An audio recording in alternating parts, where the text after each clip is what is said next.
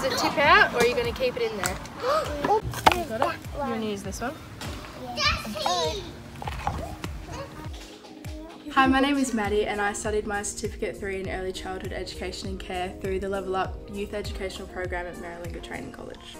The Level Up program is for young people who have decided that mainstream schooling isn't for them and they want to try and find an alternative pathway. The course runs four days a week with face to face classes, three days a week, and one being a placement at one of our centres. The small class sizes and one on one mentoring ensures that students are able to gain quality training as well as building friendships with their peers. Most days I caught the train, um, which meant catching the train to Leederville station, which is only a five minute walk away from class, and then other days I got dropped off. Now that I've completed studying, I am now working full time at Moolanda Care and Learning Centre. We provide opportunities for the children to learn through play, whether that's outside or inside. We offer them nutritious meals and we help support their learning and development. Every day is a new adventure for me. I get to observe the children and watch how they learn and grow and develop as they get older and I love watching them being able to develop their friendships and have fun along the way.